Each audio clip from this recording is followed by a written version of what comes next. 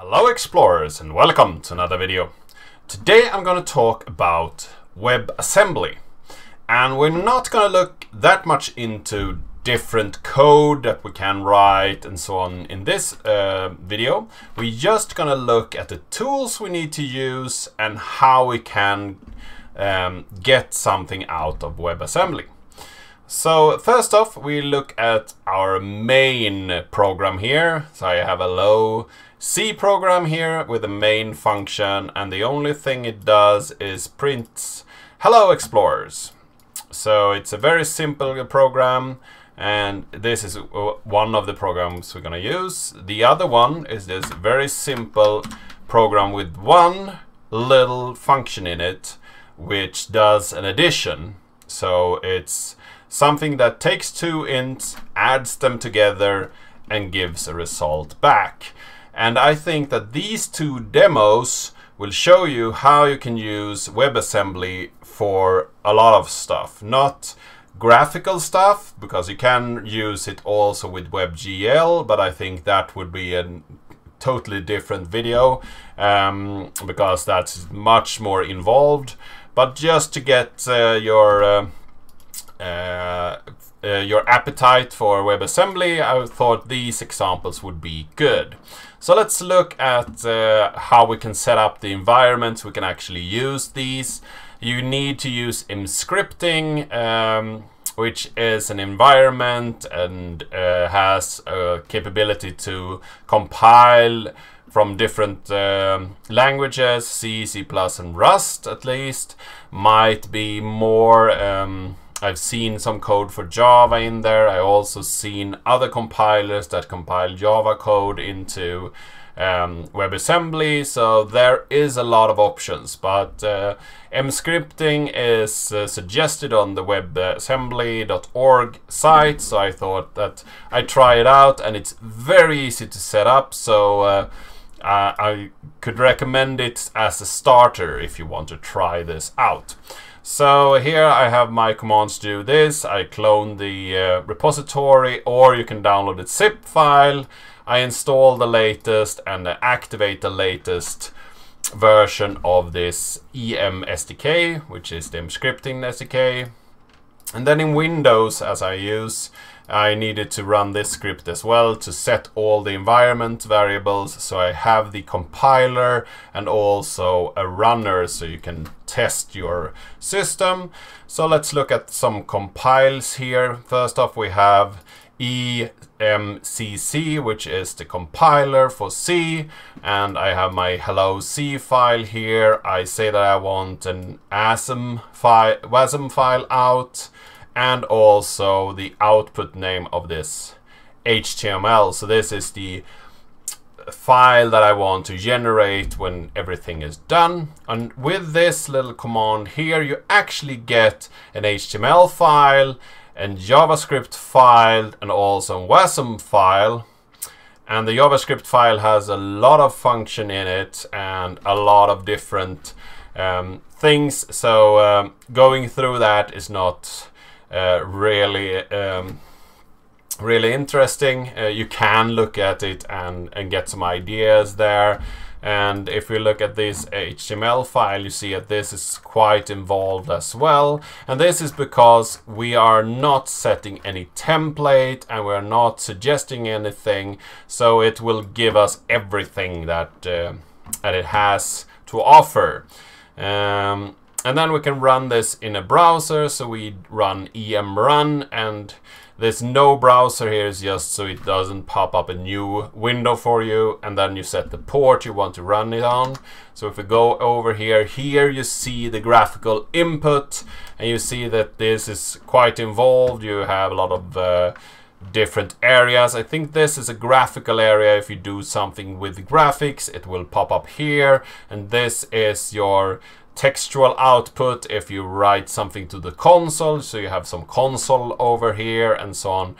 So this is without any templating at all. And later here I also tried to run this compiler. You see how I changed the output file name. I also added the flag to optimize this code, so it actually shrunk it down. And I used the shell minimal HTML, and this could be found in the SDK uh, directory. So if you look a little bit there, you can find it. I have added it to this repository as well, or a version of it. Um, so if you don't want to hunt it down, you can just try it out here. This is a very much less involved uh, GUI. So if you look at this, you see here that you still have this output, you still have the uh, graphical output, but you don't have any extra around, and the code is also very much simpler. Um, and I wanted also to try to actually just build this as a web assembly and with some JavaScript and then call it myself from my code. And if you use this little command I wrote down here, you can actually do that. So with this addition we saw here earlier, I actually um, will compile this addition to a JavaScript file. I didn't add this wasm equals 1 here, so it will just create this JavaScript file for me. And then I do dash s, and I add some extra parameter here, and this extra parameter is exported functions. And this is the function name in my C file, and they add this extra underscore before this. I guess that they do something um, when they compile the C file to WASM they do some uh, bridging function and they always add an extra underscore. So that's the name of the uh, function that you are looking for. Add an uh, underscore to your function and you will find it. And then you also need to add this extra exported runtime methods and that's what you want to be exported from your JavaScript file so you can run these commands. You have a C call and a C wrap and C-call is to call your functions directly, and C-wrap is to actually make a JavaScript function that you can call multiple times in order to do your work.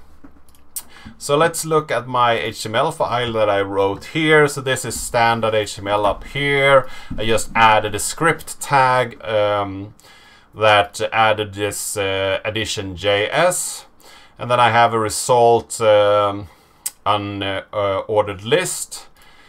And uh, I fetch this little function from uh, the model here. And this is on, uh, or I set this on runtime initialized into the model as a function that I define later on here. And that's because you want to do something when everything is running and you need to wait for that. So that is almost uh, as the function onload body on body.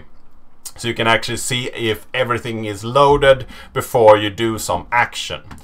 And then here you see this uh, C-wrap in action. Here I will create an add function uh, and this is an addition. So this is the function I want to connect to the addition function. It will return a number and it takes two numbers. So it's a very simple way to define this function.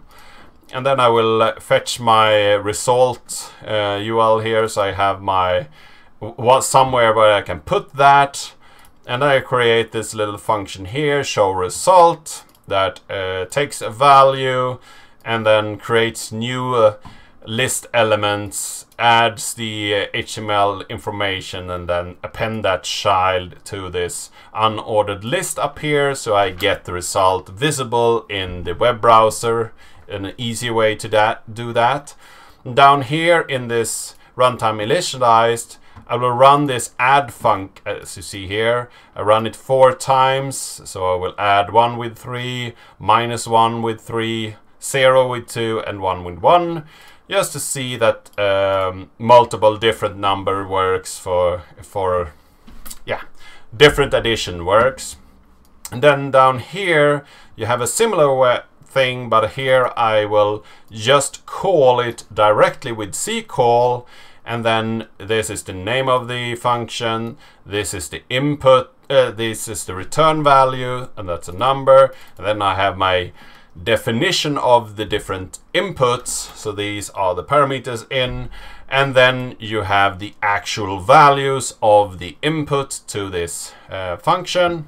And then I will get a result, and this is saved in this constant here, and then I show that result.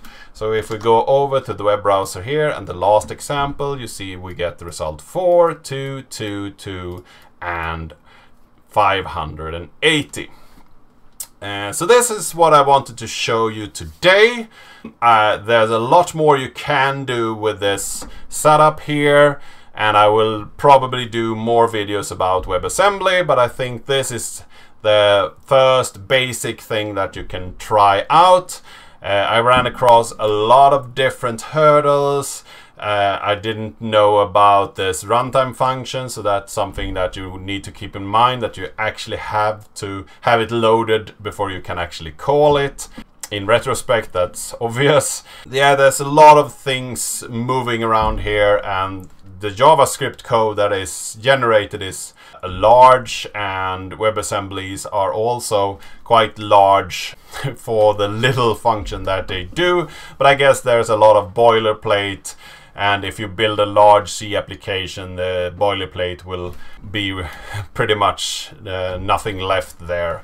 Um, I hope that um, you uh, found this video interesting. I hope that you learned something today. If you like this video, give it a like, share it with your friends and colleagues. If you haven't subscribed yet, please do that. And I really hope to see you in the next video.